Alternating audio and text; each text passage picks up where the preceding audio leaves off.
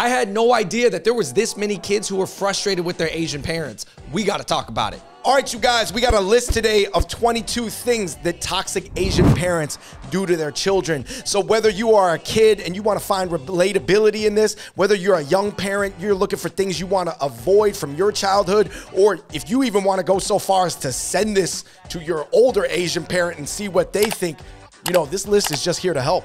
And before we get into the list, I just want you to know that we're not just doing this just to be negative about Asian parents, and we're not saying all Asian parents did this. I mean, to be honest, you can show gratitude and respect your parents while still being frustrated about how they raised you. So please let us know in the comments down below if you relate to any of these.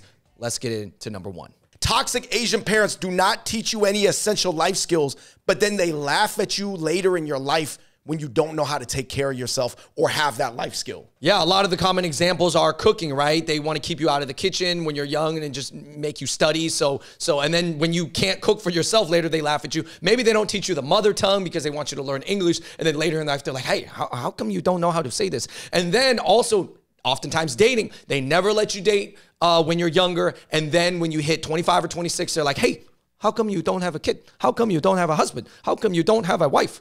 Girlfriend. What's going on? Yeah, it's definitely a little bit hypocritical or like just unaware that they were responsible for coaching you through the first like 15, 16, 17 years of your life. I would definitely say for us, our exposure to this was maybe like three out of 10, but I definitely saw it. You know, this is one of the more relatable ones on the list. Andrew, I would say this the biggest mistake where I've really seen this shown, Andrew, is a lot of parents, Andrew, they don't want to pay for like AAA, right? So they tell their kids a tow truck's too expensive. So they teach them how to change a tire. I personally know three people, Andrew, who are trying to change tires on the freeway and then got clipped by another car. So their desire from their Asian parent that was taught to them to save money ended them getting them hit by a car and sent to the hospital.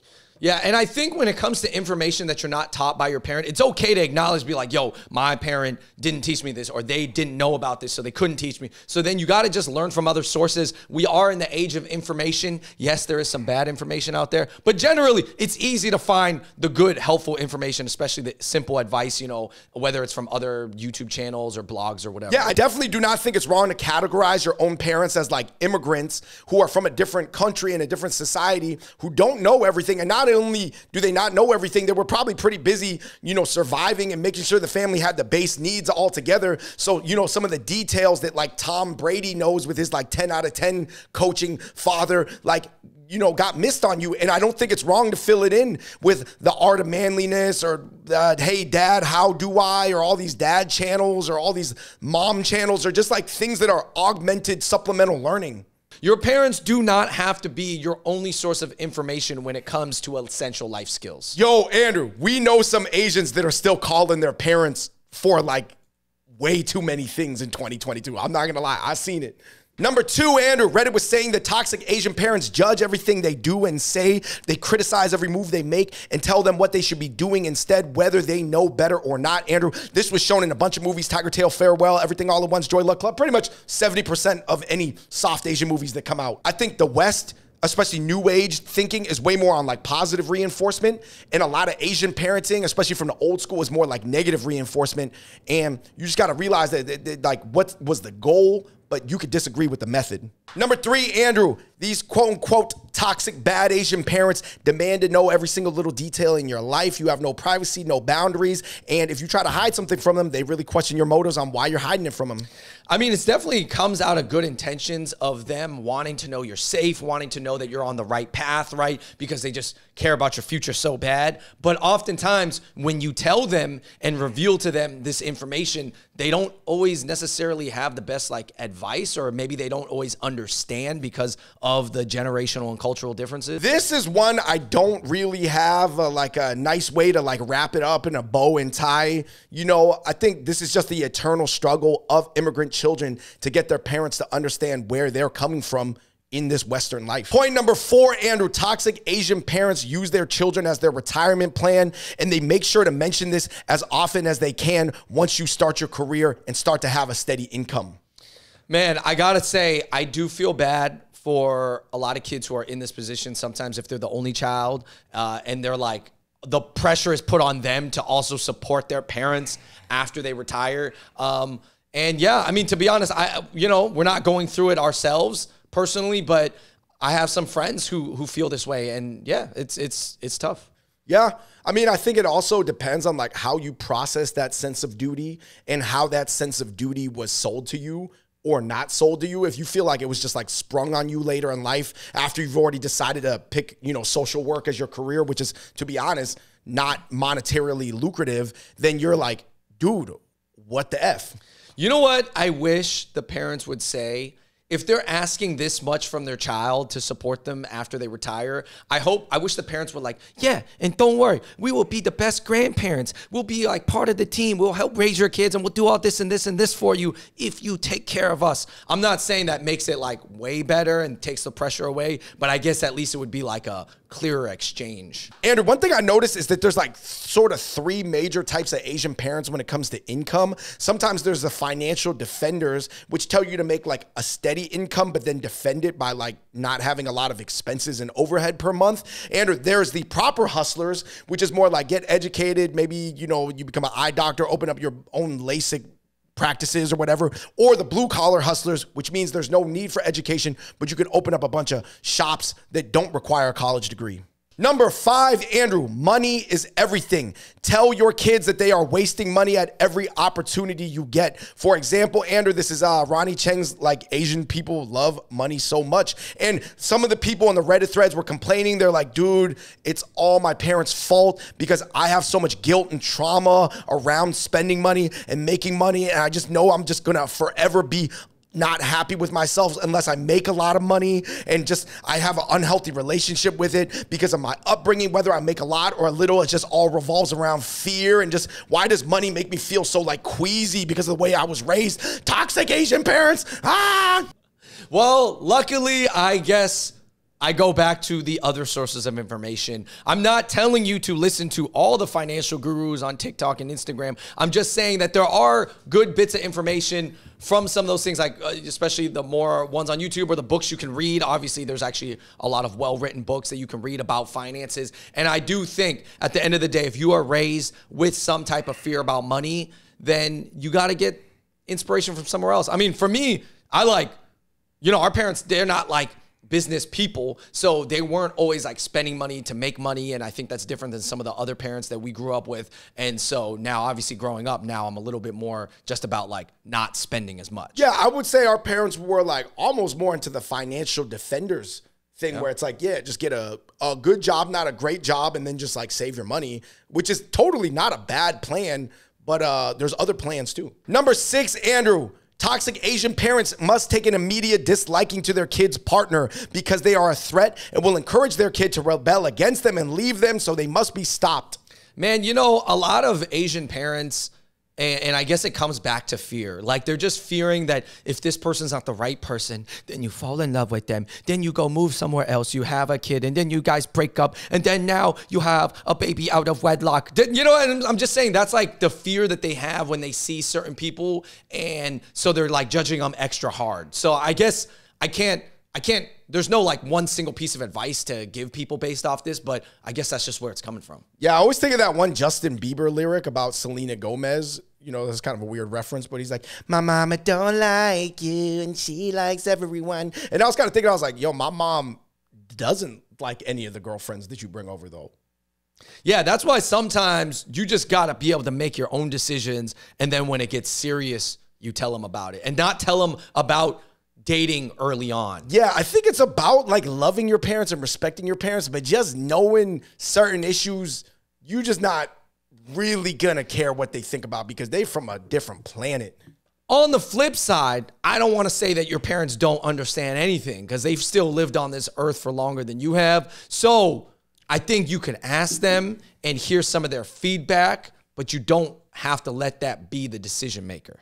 Number seven, Andrew, according to the subreddit, toxic Asian parents will tell their kids they can be whatever they want as long as they become a doctor, lawyer, engineer, or accountant. Yes, you can be wherever you want out of these five things, you know, and I obviously that's just them wanting you to be successful because those are the only five things that they know are successful. Um, there was a lot of comments of people being like, "Hey, you know, I decided to go into social work." Ah, why do you want to be a social worker? You can just be social after your work. Why dedicate your whole life to that?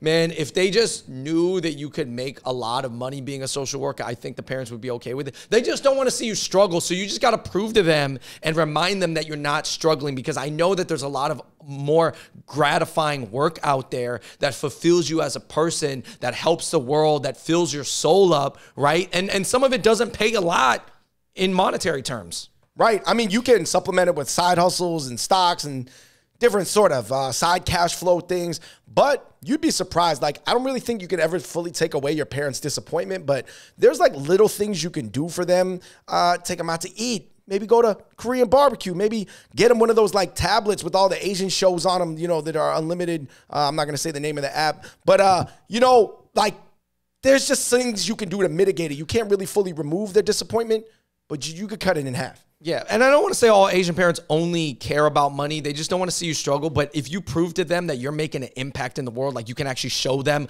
the impact of what you do, I think that it, it definitely it cuts it in half at least, man. A newspaper clipping, something prestigious.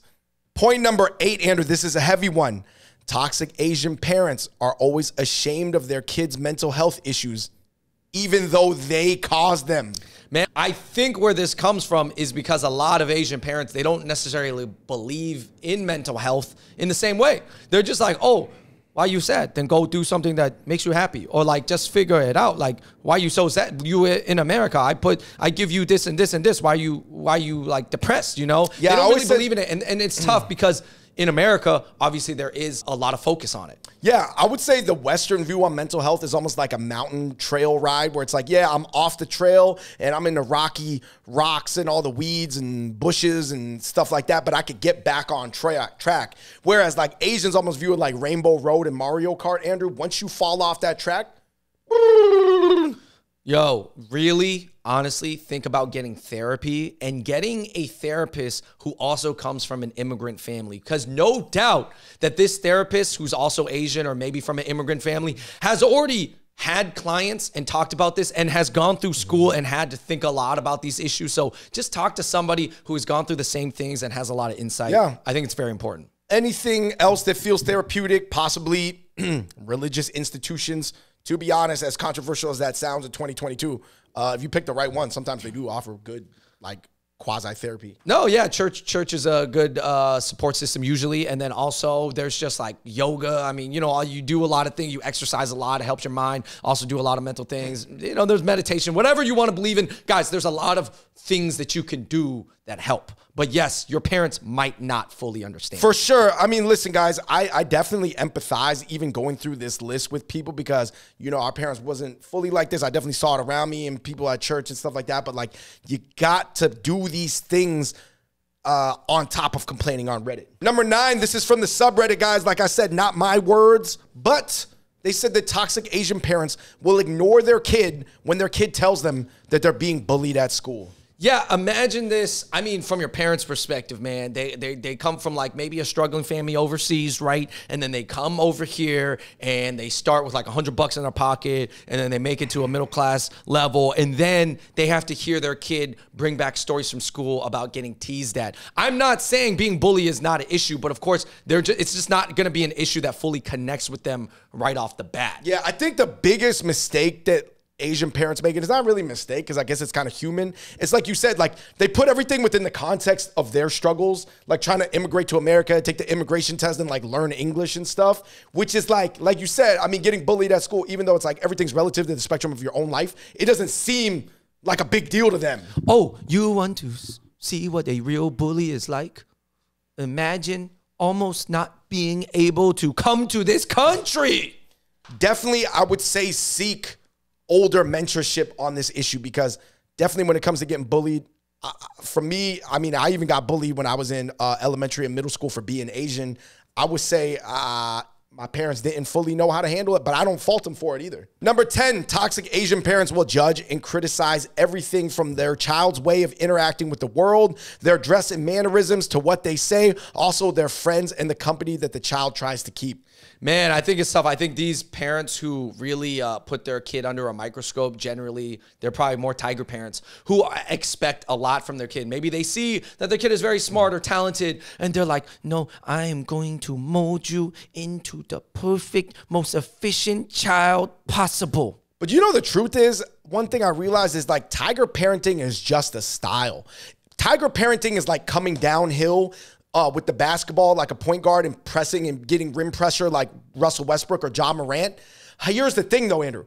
There's a good way to do it and an effective way to tiger parent and a completely ineffective way. And I'll tell you this bad tiger parenting, that's horrible. Yeah, I think, uh, and you know, I guess I'm giving advice on possible tiger parents because I know some parents out there are like, "Hey, I'm trying to figure out how to be strict and and also give my kids some freedom at the same time." Uh, and I'm like, I guess you just have to show them a little bit of both. You have to show them the incentive and the good side of it and the rewards, and show them the great love and the benefits that they're gonna get, and also, but then you know, be strict on them when you can because now in today's society, you can't just be one way. It's just not gonna work. They will rebel rebel and resent you for it. Number 11, Andrew. Toxic Asian parents, according to the subreddit, convinced their kids that their hobbies are a waste of time and money. The things that their kids actually love and bring them passion and a zeal for life.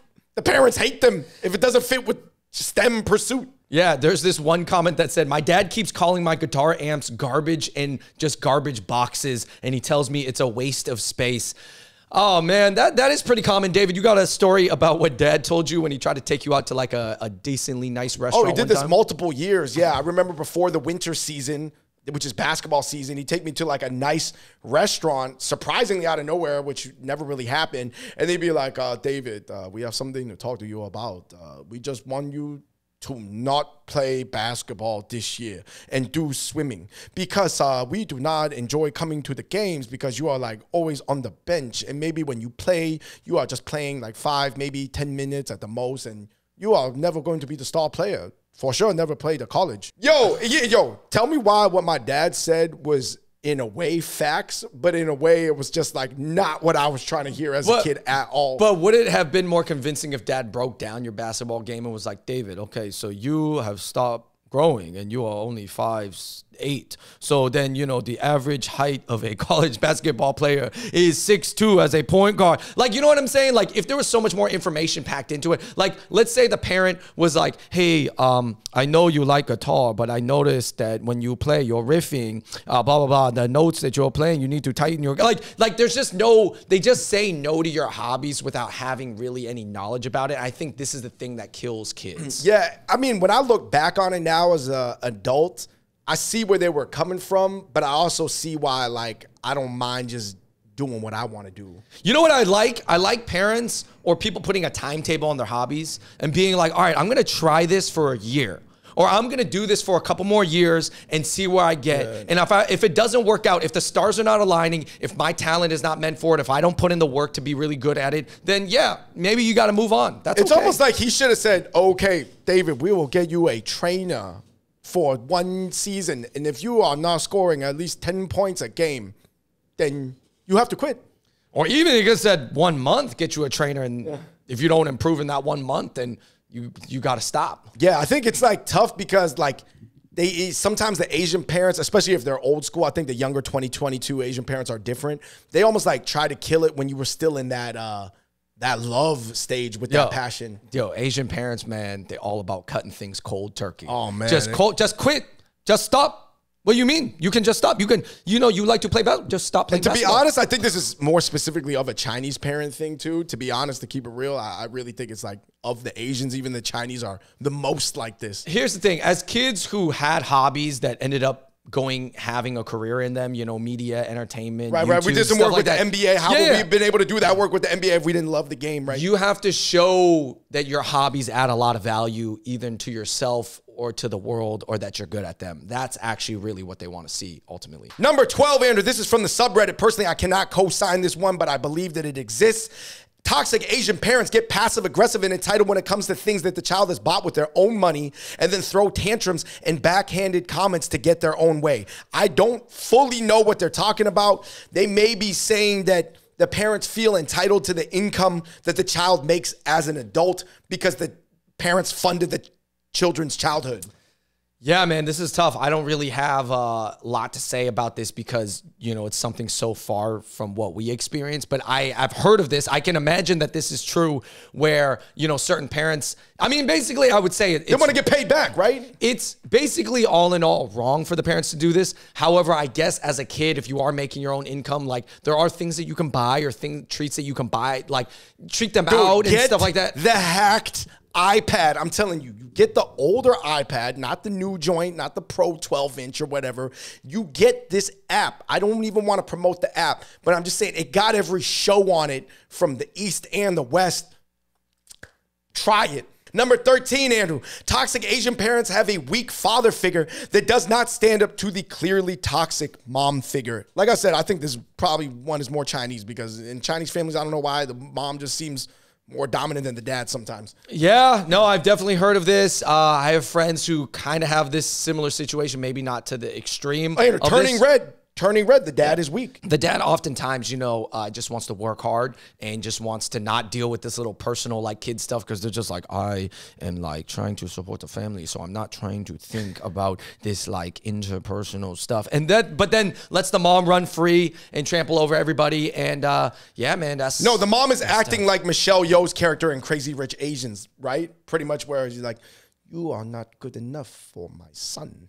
Yeah, and then the mom can always pull the I gave birth to you card and you're like, "Damn." I mean, I definitely seen it. Uh, I swear to God, you know, we went to a large Chinese church. I seen everything. I seen great parents who love their kid. Like I said, turn their kids into to Tom Brady and whoever else is the the the the the, the Gwyneth Paltrow. And I seen people turn their kids into um, you know, have incredibly strained relationships with their kids. The parents were so toxic and so bad. Um, it's tough to say because I get it. By the time you're old enough to understand how to contextualize these things, maybe the damage has been done already.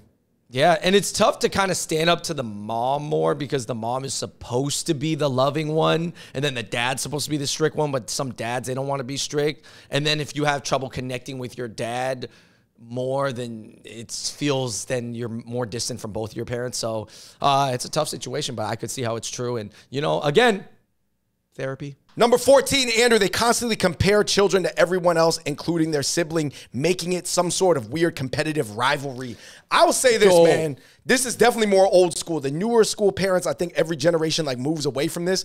But man, I got people in my family, or I saw people at church that genuinely, actually, I know some people that are my age that genuinely feel like their brother or sister is a op.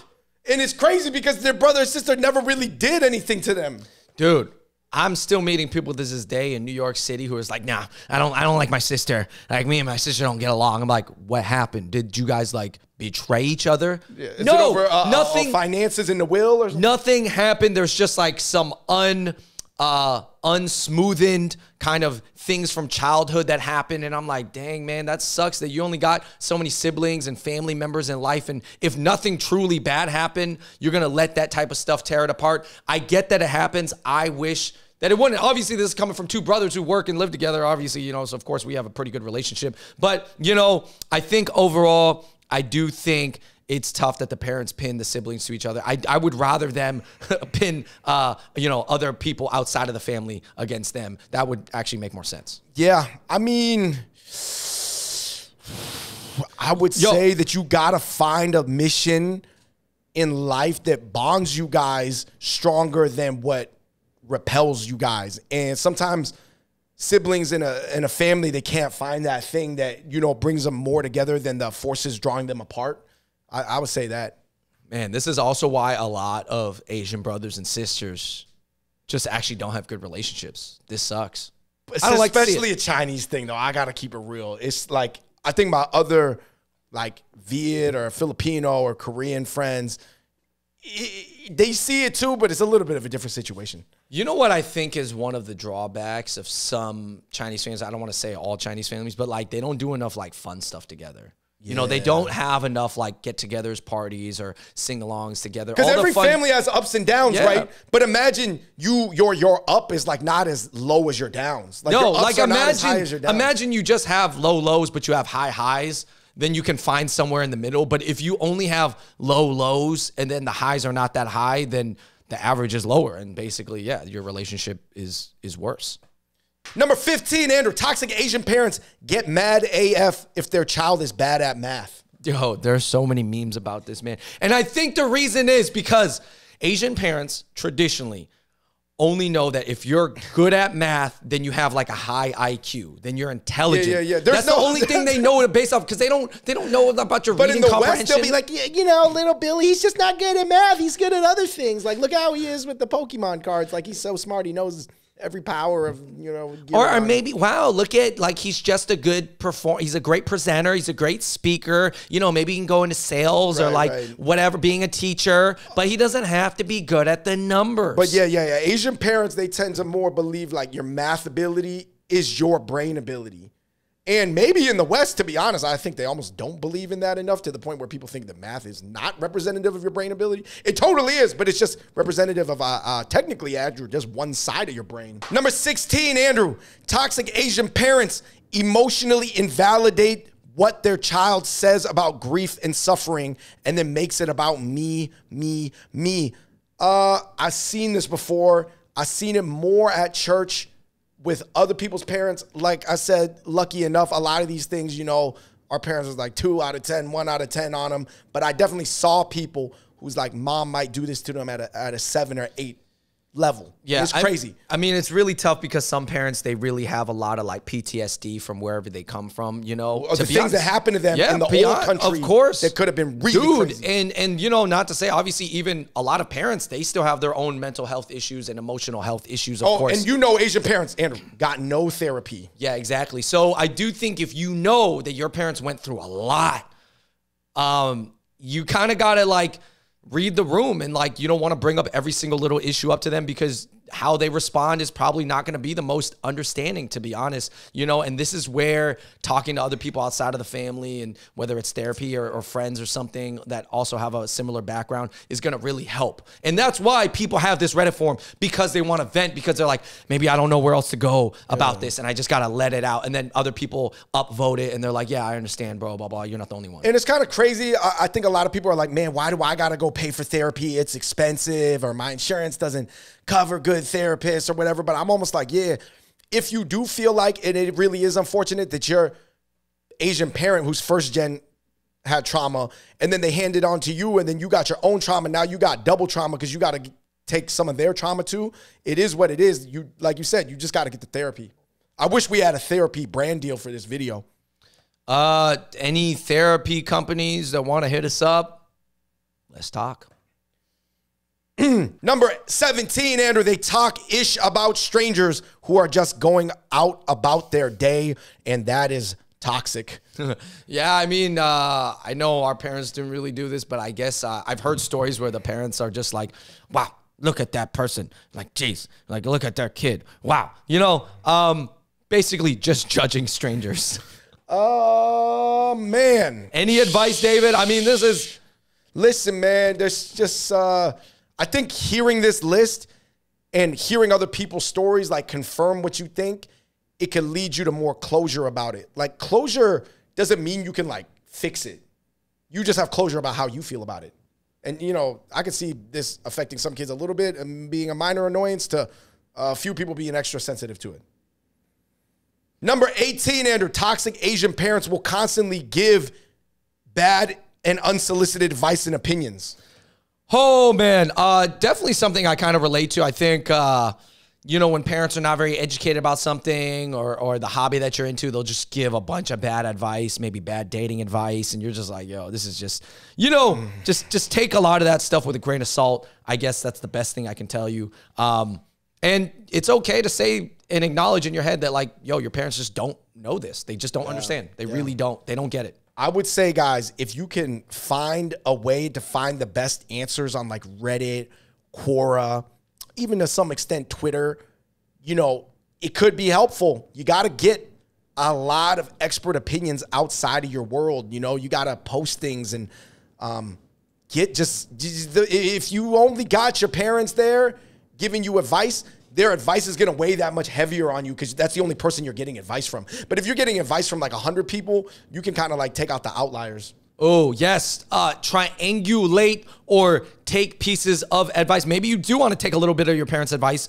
Still, you take that in, but then you take a whole bunch of other advice and then you mix it all together. And then guess what? You have an advice ball that makes sense to your life. Yeah, yeah, yeah. You got to take a look at the correlation coefficient. Number 19, Andrew. This person said that their toxic Asian parents did not want them to pursue a career that was too demanding because they really wanted their daughter to give them grandkids. Now, I do think this is from a certain type of family. I know families like this that almost actually, in a way, held their kids back from reaching their highest potential of a job or career because they didn't want them to leave home and they didn't want them to work too hard because actually the Asian parent valued family time together and grandkids more than they even did a higher career, right? Yeah. And I think everybody always assumes that like the Asian parents are always pushing their kids to get like a PhD or something like that. That's not true for every family. Like some families, Andrew, they want their kid to play like mafia boss in the business world. Some parents want their kid to play the career Hunger Games. And some kids, Andrew, I mean, some parents, Andrew, they just want their kids to get to Sims and build that like family life as soon as possible. Yeah, no, a lot of parents you see really- variation in Asian families. A lot, a lot of Asian parents just want their kids to really live within five miles of them and start raising their family there and just be happy and even have just like a regular job. That's fine. Like that's most, that's actually a lot of Asian parents that don't get talked about. I think we tend to focus on the super harsh, Model critical, right, yeah. achievement oriented tiger parents, you know, who are pushing their kids to essentially be model minorities or rich kids or hustlers or like business owners or whatever. But no, a lot of Asian parents just want their kids to be middle class and happy. They don't want to see them to struggle, of course. I, I think that's part of it. Number 20, Andrew, toxic Asian parents think that you must get a spouse that makes six figures, is handsome or beautiful, has a PhD, owns their own house and car, has no college debt, no past partners, and not any older than 25 years of age. David, this one, I've- it kind of made me laugh. Yeah, I mean, obviously, like we said, not all Asian parents are even this picky about the the person and and uh, how achievement oriented they are. But oh my God, these are such high standards for a husband or wife. Are you kidding me, man? Like. You, if you, if you are pushing this on your kid to to make sure they find a mate that's at this level, that's handsome, rich, from this, blah blah blah, then you better raise your kid to be equivalent partner of that. To Be able to secure that. Yeah. And then, and then you may, of course, even question these superficial markers of uh, accolades or self worth or whatever. Well, that's why some parents want to push their girls into pageants because they think that oh, if they win Miss Chinatown or Miss Little Saigon, then they puts them in a better position. Yo. I'm to not gonna this lie, Andrew. We've worked with a lot of uh, different people throughout the years, and I will say this: pageant girls, they like are the girls that got more raised to like look for this in a guy.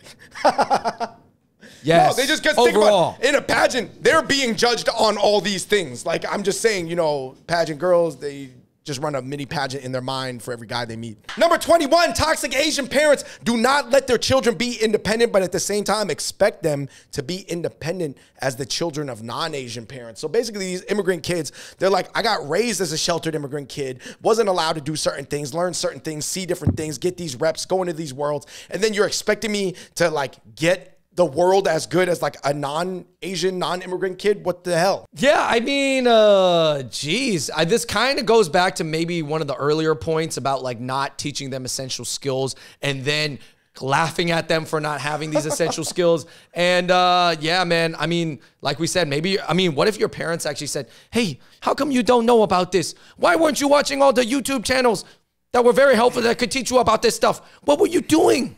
You know, I don't know. But uh, yeah, obviously, your parents, they don't teach you everything, to be honest. Yeah. I mean, this one's tough, man, because there's so many pros and cons to like different things. I definitely knew some kids in college where it's like their parents would bring them like a week worth of uh, microwave meals, you know, like hot food for like the whole week.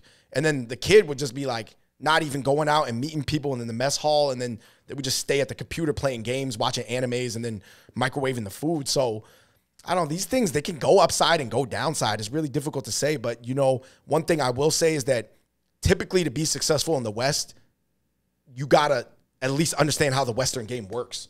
and then make decisions on how much you want to buy in or not. Number 22, Andrew, last but not least, the Asian parents that are toxic.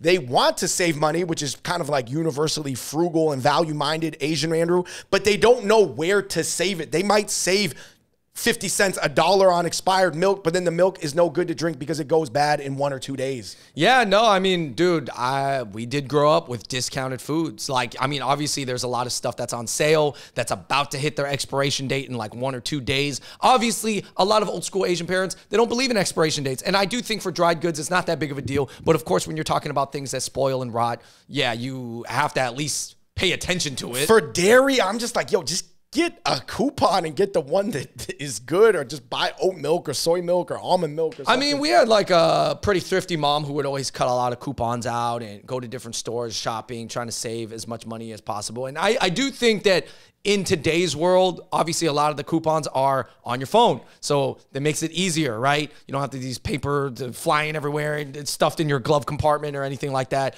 Um, but man, uh, I think as a kid, there's so many ways that you can help your parents save money and also not just saving money, but even making more money. Because I wish that maybe our parents maybe knew a little bit more about making more money versus saving money. But it is very natural that you go into save mode because that's actually easier. Yeah, it's, it's easier, easier to save money than it is to make money.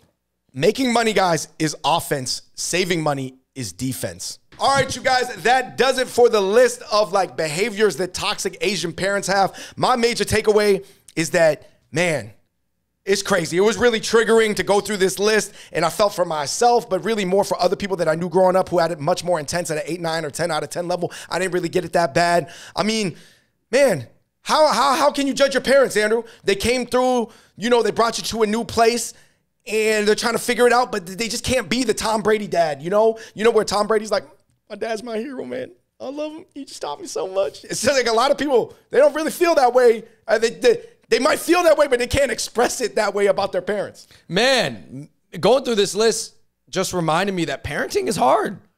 Parenting is hard as an immigrant parent, you know, and, and no one's going to bat 100. Honestly, no one's going to be 10 for 10. Almost such a low chance, right? So I do think when you judge your Asian parents, and of course you can judge your parents, right? I think you can once you become an adult and you realize things about life. But you judge them based off like if they really tried, did they really love you? And then, you know, everything else, there were just complications and cultural differences and generational differences. Listen, sometimes being an immigrant and not feeling like you got the 10 out of 10 parenting is like going to have dinner at Panera Bread right? It's a fast casual restaurant. It's not a full on restaurant. There's not a nice warm waiter that's going to sit down and talk to you. You just go in, order your food, and you get food. You get fed, right? You Which get, is important. You get all the necessary things you need. Right? And right, you especially get, compared to somebody who did not get dinner. Yeah, and there's people outside who are begging for food who they they want your Panera bread leftovers, right? They'll take them. But uh and then there's also times when for your birthday, you're like, I want to make sure I go to a nice restaurant because I want to have a waiter put the napkin on my uh, lap for me and fill up my water and talk to me about the wine or talk to me about the entrees and the appetizers. Are you talking about a uh, Cheesecake Factory, Andrew? Or are we talking about something no, better than I'm talking about even more than Cheesecake Factory. I'm saying getting the full restaurant experience. And I think those full restaurant experiences, you always remember them, and, and those are the best ones. And obviously, maybe that's like considered the 10 out of 10 parenting. But at the end of the day, a lot of us got Panera Bread, but you could live off Panera Bread and you can be fine. You can take business meetings at Panera Bread. You can get coffee. You can get charged up at Panera Bread. Yeah, and sometimes you only got fifteen fifty, so you're looking at the soup and sandwich combo, right? Because that's fifteen fifty. At the end of the day, there's nothing wrong with it, but it's just not the full great experience that you imagined. That's all it is. At the end of the day, guys, I think everybody's responsibility is to like up the level of parenting that they give to the next generation, whether that's as an actual physical parent or a mentor or just a, a person in this world, because all we could do is like contextualize and understand why our parents like ended up how they did. Of course, we would like want to fix this and fix that, but then we love them for this and that because like who else was there for us other than our parents, you know? So I think that um, it's very difficult, and that's why we recommend therapy for some people who are, are, having a tough time balance that. But you can just be the close to a 10 out of 10 person that you can be once you identify the things you want to fix. All right, everybody, we're going to close it off there. Please let us know in the comments down below if you relate to any of this or if you're a parent yourself. All right, hopefully it was helpful. Hopefully you watched the whole thing. I think it was worth the watch, to be honest, because uh, even just doing this video, I came to some realizations myself. So I got some things to think about. But, anyways, thank you so much for watching. And until next time, we out. Peace.